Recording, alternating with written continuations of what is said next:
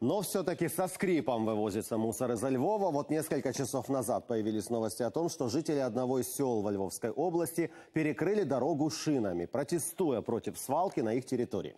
Вообще периодически появляются новости, что городским властям удалось найти инвестора для переработки мусора. Вот только деталей о том, где именно может быть расположен такой мусороперерабатывающий объект, все еще никаких не озвучивалось.